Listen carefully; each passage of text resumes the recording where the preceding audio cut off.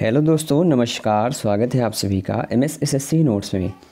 दोस्तों, यदि आपने अभी तक हमें अन अकेडमी पर फॉलो नहीं किया है तो अन अकेडमी का लर्निंग ऐप प्ले स्टोर से इंस्टॉल करके आप हमें फॉलो कर लीजिए। डिस्क्रिप्शन बॉक्स में लिंक भी दिया गया है, आपको यहाँ पर आपके कोर्सेज से रिलेटेड सारे वीडियो दिए गए हैं, जिसे कि आप फ्री ऑफ़ कॉस्ट देख सकते हैं। तो मोहित शुक्ला सर्च करके हमें अन अकेडमी पर फॉलो करना ना भूलें। दोस्तों, आज का हमारा जो टॉपिक है, उनहत्तर शिक्षक भर्ती 2019 को ध्यान में रखते हुए जो आपका जीवन कौशल, प्रबंधन एवं अभिवृद्धि से जो 10 नंबर का ये टॉपिक है, इससे जो इम्पोर्टेंट क्वेश्चंस बनने वाले हैं और किस प्रकार के प्रश्न आएँगे, उसको हम इस वीडियो में शामिल किए हैं। ध्यान से देखिएगा वीडियो क्योंकि ये बहुत ही ज़्यादा महत्वपूर्ण टॉपिक है आपकी परीक्षा के लिए।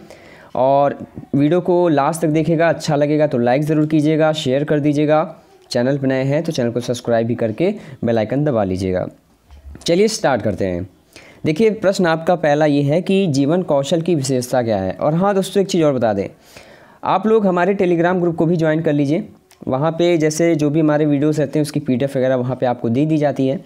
तो टेलीग्राम ग्रुप की लिंक आपको डिस्क्रिप्शन में दी गई है, वहाँ से आप लोग हमें ज्वाइन कर लीजिएगा। ठीक है? और देखिए, पहला प्रश्न है कि जीवन कौशल की विशेषता क्या है? विश्लेषणात्मक सोच आत्म जागरूकता रचनात्मक सोच या उपयुक्त सभी? देखिए, जीवन कौशल हम शुरू कर रहे हैं। पहले हम जीवन कौशल के बारे में थोड़ा सा जान लेते हैं। आखिर जीवन कौशल होता क्या है? बहुत से अभ्यर्थी कंफ्यूज होते हैं कि आखिर जीवन कौशल हम पढ़े कहाँ से, क्या पढ़ें, ऐसा होता क्या है? बाल मनोविज्ञान, शिक्षण तो समझ में आता है, लेकिन ये जीवन कौशल क्या है?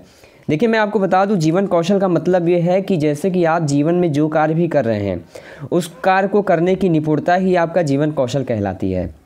एक एग्ज़ाम्पल के तौर पे, जैसे कि आप एक शिक्षक हैं। शिक्षक के तौर पे आप किसी बालक को कुछ पढ़ाना, लिखाना चाहते हैं तो आपको उसके लिए कौशल की आवश्यकता होती है। यदि आपको सिखाने का ढंग अच्छे से नहीं पता होगा तो किसी भी बालक को आप सिखा नहीं सकते हैं। यही होता है जीवन कौशल। इसी से रिलेटेड आपके परीक्षाओं में प्रश्न पूछे जाते हैं। ठीक है? तो चलिए अब इस टॉपिक को हम जल्दी से ख़त्म करते हैं और बताते हैं आपका जो सही उत्तर होगा। उपयुक्त सभी। देखिए, जीवन कौशल में विश्लेषणात्मक सोच आत्म जागरूकता और रचनात्मक सोच, सभी प्रकार के कौशल होना आवश्यक होता है। नेक्स्ट क्वेश्चन है कि व्यक्ति द्वारा व्यक्ति द्वारा उचित निर्णय लेने की क्षमता एवं भावनाओं में संतुलन स्थापित करने की कला क्या कहलाती है?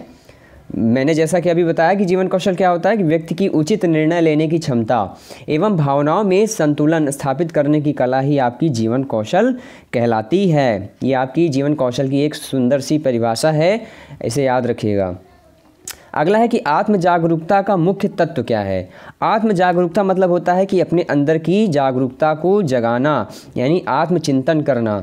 तो इसका क्या मतलब हुआ? स्वयं को जानना अच्छा संवाद स्थापित करना, संबंधों को मज़बूत बनाना या उपयुक्त सभी। देखिए, जीवन कौशल दोस्तों, आपके इसी प्रकार के प्रश्न आते हैं। ज़्यादा कठिन नहीं रहते हैं। थोड़े से आपका तार्किक होता है, थोड़ा सा दिमाग लगाएँगे आपका, उसका आंसर प्रश्न में ही मिल जाता है। तो बता दें, इसका जो सही उत्तर होगा ऑप्शन डी होगा, यानी कि आत्म जागरूकता का मतलब होता है, स्वयं को जानना भी होता है अच्छा संवाद स्थापित करना भी होता है, और संबंधों को मज़बूत करना भी। ये सभी आत्म जागरूकता होता है, ठीक है? इसके अंतर्गत आता है। सहानुभूति का अर्थ क्या होता है? सहानुभूति आप सब तो जानते हैं, एक दूसरे से अपना क्या है? सहानुभूति प्रकट करते हैं ना, कि दूसरे व्यक्ति की अनुभूति को समझना, भावनाओं को समझना परेशानियों को समझना या उपयुक्त सभी तो सही उत्तर होगा जी हाँ आप जब किसी के दूसरे के व्यक्ति को अनुभूति करेंगे, भावनाओं को समझेंगे, परेशानियों को समझेंगे, यही सब तो आपका क्या है? सहानुभूति कहलाएगा। इसलिए ऑप्शन डी बिल्कुल सही होगा। जीवन कौशल की आवश्यकता कब होती है, कहाँ पे होती है? पूर्ण विकास में, व्यक्तित्व के विकास में, भावनाओं के विकास में या उपयुक्त सभी? तो हम बात करेंगे यहाँ पर, देखिए, जीवन कौशल की आवश्यकता होती है पूर्ण विकास में। पूर्ण विकास का मतलब है कि यदि आप किसी बालक या किसी व्यक्ति का पूर्ण विकास करना चाहते हैं तो जीवन कौशल की वहाँ बहुत अधिक आवश्यकता पड़ती है। ठीक है? चाहे वो व्यावसायिक हो, चाहे वो आपका चाहे शिक्षण से संबंधित हो, हर प्रकार में काम आता है। अगला है कि सकारात्मक व्यवहार व्यक्ति की किस प्रकार मदद करता है? आत्मबल द्वारा, मनोबल द्वारा ऑप्शन ए और बी दोनों होगा या इनमें से कुछ नहीं होगा?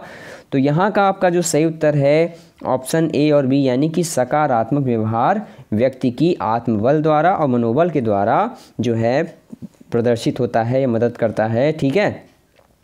क्वेश्चन नंबर सेवन है कि दैनिक जीवन में निर्णय लेने में मदद करना जीवन कौशल की कौन सी विशेषता है? विश्लेषणात्मक सोच या फिर आपका विश्लेषणात्मक सोच? या फिर ऑप्शन ए और बी दोनों या फिर ऑप्शन डी इनमें से कोई नहीं? तो सेवन की बात करें, सही उत्तर होगा यहाँ पे आपका, जी हाँ विश्लेषणात्मक सोच। दैनिक जीवन में निर्णय लेने के लिए जिस कौशल की आवश्यकता होती है, वो है आपका विश्लेषणात्मक सोच। किसी चीज़ का विश्लेषण करने के बाद ही आप दैनिक जीवन में किसी के प्रति निर्णय लेते हैं। ठीक है? अगला है डेल्फी विधि के माध्यम से किसकी पहचान होती है? जीवन कौशल के महत्व अंगों की, जीवन कौशल के व्यक्तित्व की, जीवन कौशल के सहानुभूति की। या उपयुक्त में से कोई नहीं, डेल्फी विधि देखिए, जीवन कौशल की एक विधि है। पूछा जाता है कि ये जो है किसकी पहचान कराती है? तो ये दोस्तों जो होता है आपका, जीवन कौशल के महत्वपूर्ण अंगों की ये क्या है? डेल्फी विधि के माध्यम से इसकी पहचान होती है। चलिए आते हैं अगले प्रश्न पे। निम्नलिखित में से कौन सा सीखने के लिए अधिकतम रूप से अभिप्रेरित करता है? निम्नलिखित में से कौन सा सीखने के लिए अधिकतम रूप से प्रेरित करता है? असफलता से बचने के लिए प्रेरणा, बहुत सरल तथा कठिन लक्ष्यों का चयन करने की प्रवृत्ति, लक्ष्यों को प्राप्त करने में व्यक्तिगत संतुष्टि या फिर बाह्य कारक देखिए, सीखने का जो प्रेरक होता है अभी प्रेरक होता है तो ये किस पर निर्भर करेगा?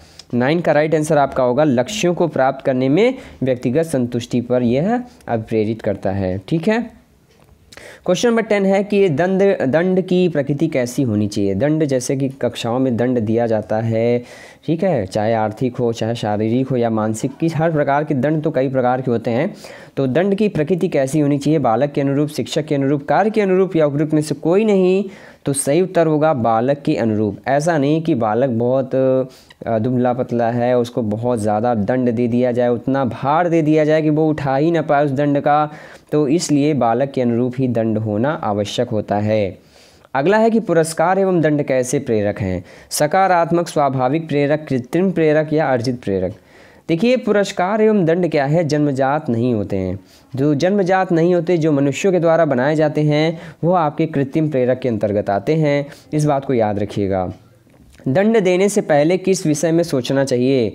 अपराध की मात्रा, अपराध के कारण, ऑप्शन ए और बी दोनों, या उपयुक्त में से कोई नहीं? तो ट्वेल्व में जो सही उत्तर होगा, ऑप्शन सी, यानी कि दंड देने से पहले हमें अपराध की मात्रा और अपराध के कारण दोनों का पता लगाना चाहिए, फिर दंड देना चाहिए। क्वेश्चन नंबर थर्टीन है कि निर्देशन व्यक्ति के दृष्टिकोणों एवं उसके बाद के व्यवहार को प्रभावित करने के उद्देश्य से स्थापित गतिशील परस्पर संबंधों का एक प्रक्रम है। यह कथन किसका है? गुड का, जोन्स का, क्रो एंड क्रो का, इनमें से कोई नहीं। ये आपका गुड लिखा है। गुड यहाँ पे हो गया है। तो ठीक है। तो बताइए, निर्देशन व्यक्ति के दृष्टिकोण एवं उनके बाद के व्यवहार को प्रभावित करने के उद्देश्य स्थापित गतिशील परस्पर संबंधों का एक प्रक्रम है। यह कथन जो है दोस्तों किसका है? आपसे अगर इस प्रकार से प्रश्न आ जाए तो आप लोग क्या कहेंगे? जी हाँ आपका गुड ही है, ठीक है?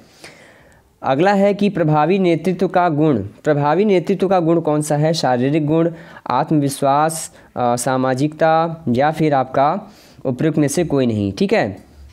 प्रभावी नेतृत्व का गुण कौन सा होता है? तो प्रभावी नेतृत्व करना है तो आपको क्या है, उसके अंदर, उसके लिए शारीरिक गुण, आत्मविश्वास, सामाजिकता सभी की आवश्यकता होगी, इसलिए option number D this is the right answer अगला प्रश्न है कि निर्देशन का मुख्य उद्देश्य क्या है? छात्र का शारीरिक विकास, छात्र का संवेगात्मक विकास, छात्र का सर्वांगीण विकास या छात्र की शारीरिक विकास? देखिए, इसमें क्या बताएँ आपको?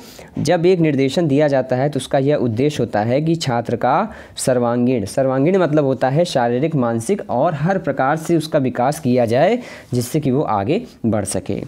तो कैसा लगा वीडियो? जल्दी से कमेंट करके बताइए। वीडियो अच्छा लगा हो तो वीडियो को लाइक ज़रूर कीजिएगा।